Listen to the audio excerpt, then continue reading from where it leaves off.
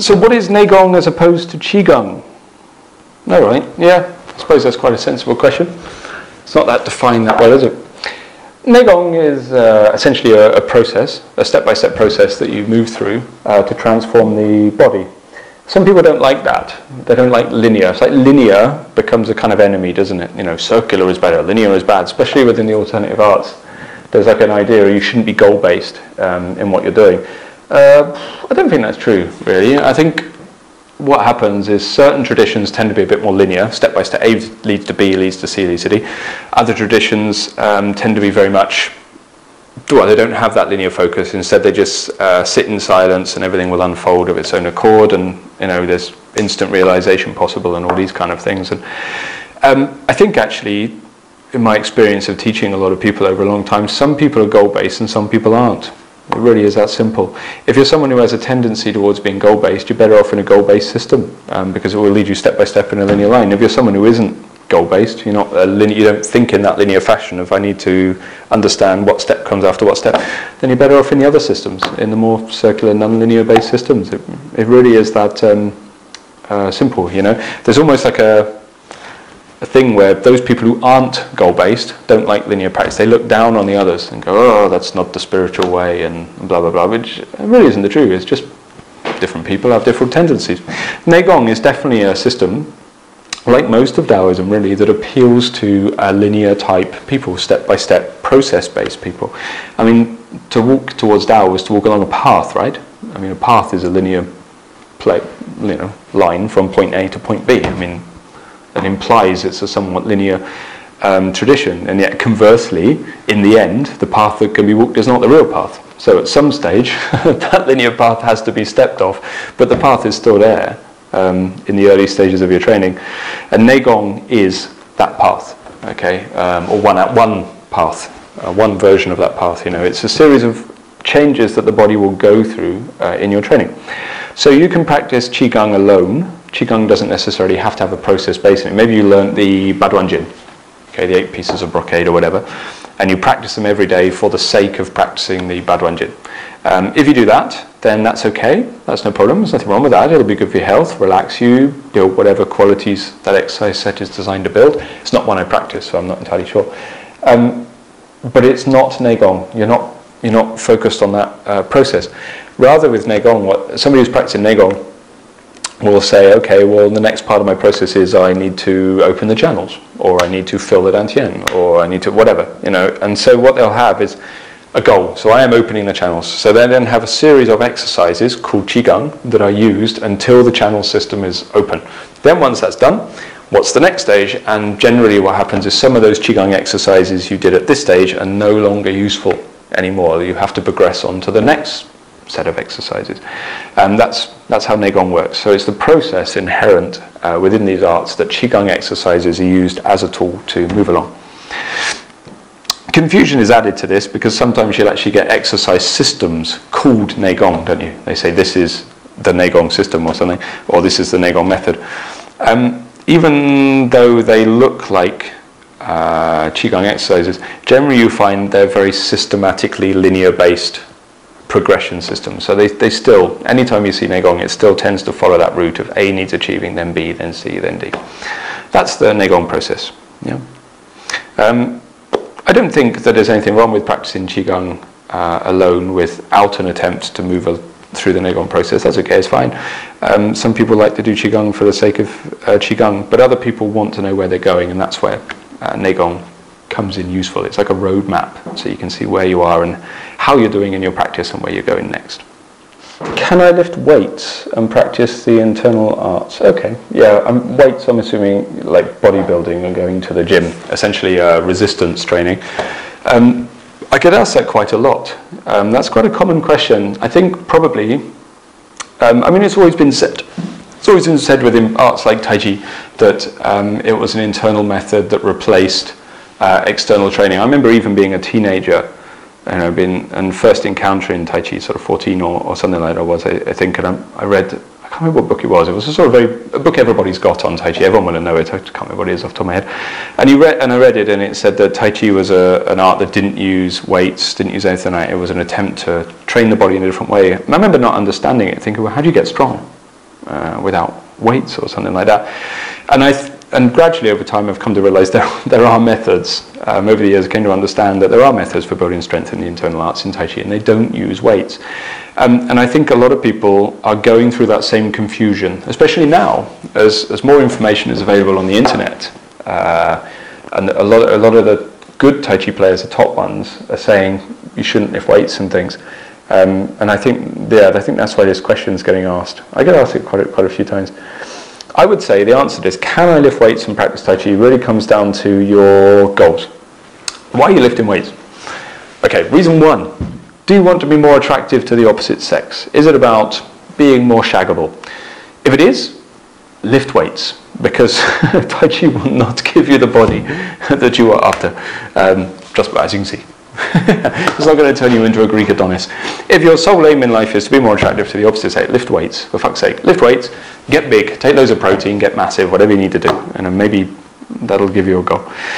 If you're lifting weights um, to get strong alongside your internal arts practice, then you don't really need to lift weights um, because if your take Tai Chi as an example, if your Tai Chi method is correct, okay, which um, is a harder thing to come across than you might think, and there's a lot of there's a lot of point there's a lot of places in the Tai Chi system where you can kind of make an error and then it's useless. Unfortunately, there's lots of pitfalls. You have to find someone who really knows the method. But if say you have the correct um, method for building internal force, um, essentially through standing in, in Tai Chi practice, then you will not need to lift weights. Um, you'll get strong enough. Okay, you won't necessarily build a lot of sort of contractive mass like a bodybuilder will, but you'll certainly be strong. Um, my body doesn't carry a, a lot of uh, mass to it, uh, as you can see, but it's certainly certainly strong when I'm uh, using my body in, in Tai Chi and things. The, the body builds um, power according to the um, Yi Jin Jing, essentially. A lot of Tai Chi people don't know that the Yi Jin Jing, the, the sinew changing classic, is actually the instructions for how their system works, because most people associate the sinew changing classics with Shaolin and Shaolin styles. Um, but in actual fact, it was a, a, series of principles that was absorbed into all of the martial arts and into Qigong and into Neigong and influenced a lot of what they did. Yi Jin Jing was, was the underline of everything. Yi Jin Jing dictates, the sinew changing classic rather, I should call it in its English name, um, dictates that there's two ways to build a body. One is from the outside in, and one is from the inside out. The outside in um, is essentially based on resistance. You stress the muscles to make them grow, as most bodybuilders or whatever will be familiar with. That's the external way of building a body. Sinew Changing Classic then said that there was an internal way to build a body, which is based on cultivating the qi. Okay, and in this term, it's using the Tai Chi definition of qi, not the Qigong definition of qi. Um, using the qi to convert the huang, often translated as the membranes, but in actual fact not true. Um, it's the soft connective tissue of the body. Um, this then causes the sinews to change, uh, which are the connective tissues closer to the surface of the body. It's through these connective tissues that most of the jin travels in Tai Chi, and these will then cause the tendons to grow. So Qi affects the soft tissues, which affects the sinew channels, which affects the tendons in that sequence. So your body will strengthen from the inside out. The muscles are not mentioned, um, as in you still have to use some muscle. You, muscles are a part of how the body functions and stabilizes itself, but um, they don't build their strength by building mass or compressing the muscles. Rather, they let the soft tissues push into the sinews, which then push into the tendons, um, meaning the connecting points into the into the bones. Yeah. So the strength builds, but the strength builds from underneath. The muscles were considered more on the surface. This power builds from underneath. Um, there's lots of um, details as to how that's done, and generally you you need to engage in uh, authentic internal training to experience that. Um, but if the muscles are contracted habitually, they get in the way, then they stop this process from taking place. It's like the inside can only be accessed if the outside is relaxed. If the outside is tense, you cannot get to the inside, right? And resistance training, whatever you're doing, builds a lot of habitual tension into the muscles. Um, and when that habitual tension is there, then you cannot access the inside of the body. So that's why they said um, don't practice weightlifting while you're doing Tai Chi. So, as I said before, I like to argue with myself. If you don't have an authentic um, standing system that builds this sort of a pressure-based force from the inside of the body, you're probably best off lifting weights, to be honest, um, because bad Tai Chi uh, or bad standing or bad Qigong might relax you, but it will also weaken you. Uh, it won't build strength, so you're probably best off lifting weights. But you should also understand that you are now practicing a hybrid and it's not really right. If you can find an authentic internal system that builds your body in the right way, you will build more than enough strength without the use of weights. Okay, you do not need them um, in any way, shape, or form. You know. Okay, is it possible to become sick from qigong practice? that sounds like a question from a, a worried person. yes, I don't. That's probably not going to alleviate your fears, is it? Never mind. I should have sugarcoated it. Yeah, it is possible to get sick from qigong training. Um, interestingly, if, if someone there's two two real types of qigong. There's there's authentic qigong, and then there's breathing exercises where you're waving your arms around. The breathing exercises where you wave your arms around um, isn't probably going to do you much harm, um, but some of the more deep uh, internal aspects of qigong can cause you problems, especially if you either have blockages in the system, um, meaning areas that qi can't conduct through properly, um, or the microcosmic orbit's not in place, or you're building too much compression, too strong an intent. I mean, there's lots of reasons why. Most of the time, it comes from frying the nervous system and sending too much qi up. It is possible to get sick, yeah. You have a, there's a series of illnesses in Qigong. They've got rather fantastical names. There's dragon sickness, most people will know, uh, know of, will have heard of. Um, there's Qigong deviations, which essentially is a reversal of Qi within one of the channels, meaning it functions in the wrong way. There's a marvelous one called entering fire, uh, walking fire, entering demons, um, which essentially is frying your body to such an extent that it exacerbates your psychological hang-ups. Your demons that walk in our internal demons. Um, there's poison fire affecting the heart. This happens to a lot of practitioners who practice a lot of uh, sexual um, practices that actually create sexual deviance. So your there's a mechanism behind it. Doesn't matter right now, but your desires and your romantic connections kind of get intertwined. They get mixed up. Um, so uh, sort of sexual obsession starts to develop and a lot of sexual deviance and it can even manifest as I mean I've known people who practice this who find they start to become very um, sexually dominant and even uh, pedophilia I mean the, it sounds extreme I know but uh, there are Qigong people that will taint their heart to such an extent um, that that sheer innocence starts to become sexually attractive. So it's a massive deviance. But if you scratch beneath the surface in the Qigong community, it happens a lot. Um, there's, a, there's a lot of Qigong uh, masters, I use the term in inverted commas, if they've, if they've developed this error, I wouldn't call them a master, I'd call them a bit of an idiot, really, but um, that develops to such an extent that sort of sexual dominance and sexual deviance becomes a, a sort of demon that they have to have to deal with. That's why the methods based on Jing, the sexual practice, we consider a very dangerous path. They were the fire path, very very tricky to to walk safely. Um, so I've made all that sound rather scary, really, haven't I? I it is, yeah, it is possible. I mean, that being said, most people who do qigong won't get ill, um, but people do, and I, I see quite a, a, lot of it. Not from within my own school, I might add. I'm very safe, um, but from within other schools, I get people come to me um, because somewhere online I got a name of someone who treats qigong sickness. I don't know how where that came from, but people come to me in my acupuncture clinic for help. So I do see a lot of people with uh, sickness from yoga, qigong, meditation, things like that. Normally it's because they had poor instruction. When they actually tell me what they were told to do, I'm like, oh God. And often they have um, symptoms arising, like, you know, sharp stabbing headaches and mood swings and things. And the teachers have told them, don't worry, it's just a clearing process, you'll pass through it.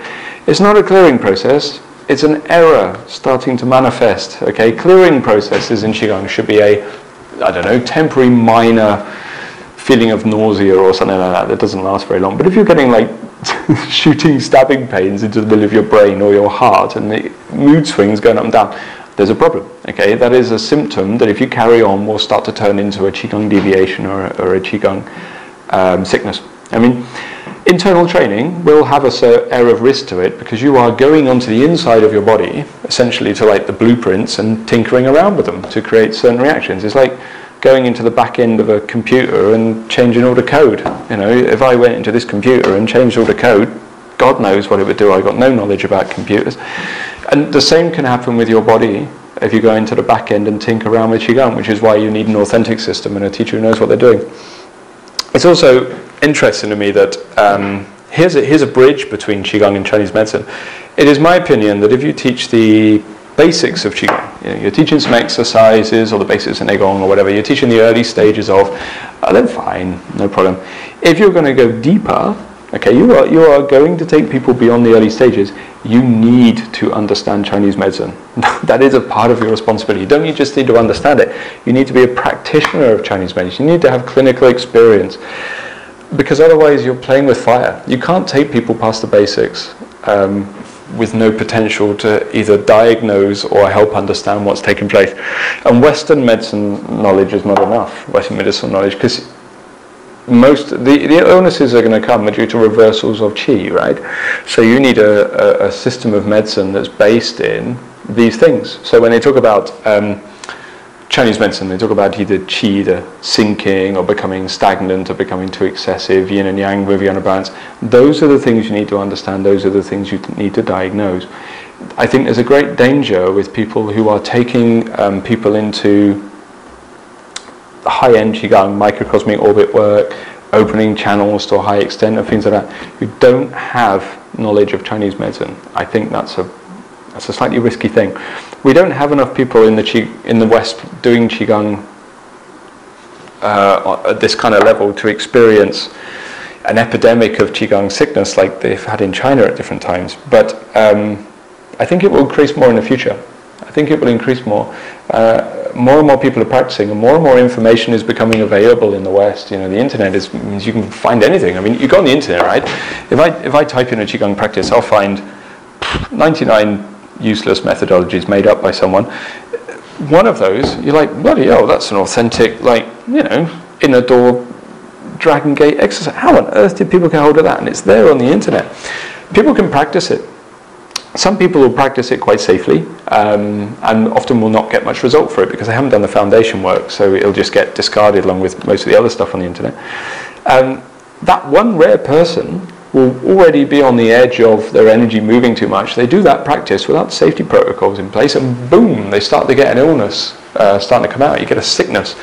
And I've the people I've treated, lots of them have had that as an issue, especially if they've gone to learn off a teacher who's learned things off the internet or something like that and doesn't understand what they're doing. And, and yeah, it can be a problem. And they're difficult conditions to treat um, if you don't have a knowledge of how energy moves inside the body, uh, which is why Chinese medicine should be a vital and integral part of um, Qigong practitioners and Qigong, no, Qigong teachers training if they ever want to go past the foundations. I mean, foundations is fine. Um, I would also say if you are just a Qigong teacher doing the foundations, um, and you don't know Chinese medicine, then find some Chinese medicine practitioners in your area and uh, you know work with them. Go to see them, speak to them, get treatments off them. Get a five or six in your area. Figure out which ones are good, because um, not everyone's good. Some of them are shitter. See what, figure out which one's good. Pair up with them, and, and so you've got some backup. So if you've got someone who comes in. Um, who has something wrong. Maybe they were wrong before they come in your class. Like, um, you don't have to be the one that screwed them up. But if they come in, you've got somewhere to send them to, to get them some uh, help, you know, because this can happen too. Um, if everybody who comes in your class is getting sick though, like maybe consider stopping teaching. Like uh, you're doing something wrong.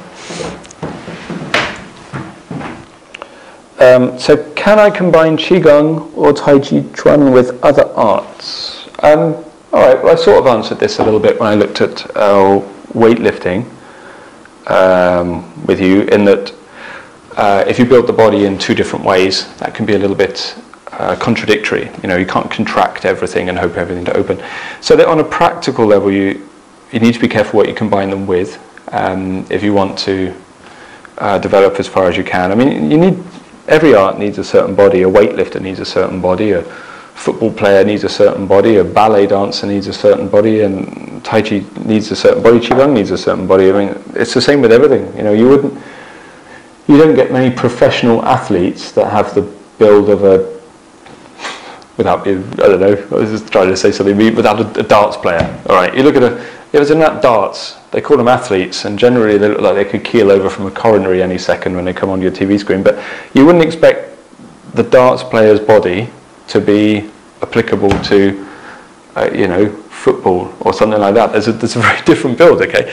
The football player needs certain qualities in their body to be able to perform their uh, practice properly, you know, and uh, that would be different from what a boxer needs or, or whatever. And Qigong is the same. Like people don't realize your body needs building. So can you combine arts with Tai Chi and Qigong? Yes, but you need to understand if the body is clashing with another body.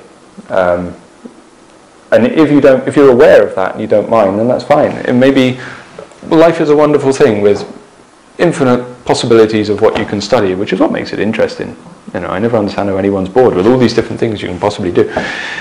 Uh, so, if you're interested in just studying lots of different things, then of course, go ahead and, and study them. But if you really want to get the bottom of an art like Qigong or Tai Chi Chuan, then you should make sure you don't um, slow down your progress or halt it by studying something that directly clashes with Tai Chi or Qigong. You get all the time with martial arts, um, say with uh, Tai Chi, people would do Tai Chi, and then they'll try to do a, a very physical martial art based on contraction or closing the body up or, or something, and they never really get to the bottom of either of these arts um, because the body is trying to be built in uh, two different directions. You, so I would say you can combine arts with Tai Chi, but you need to understand what each one is doing to your body and what each one is doing to your mind. I should also say you don't need to. You know, people um, sometimes study another art because they think there's something missing from their own.